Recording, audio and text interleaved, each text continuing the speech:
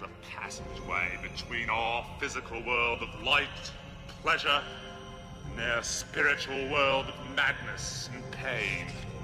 A gate behind which the demons wait for the chance to take back what is theirs!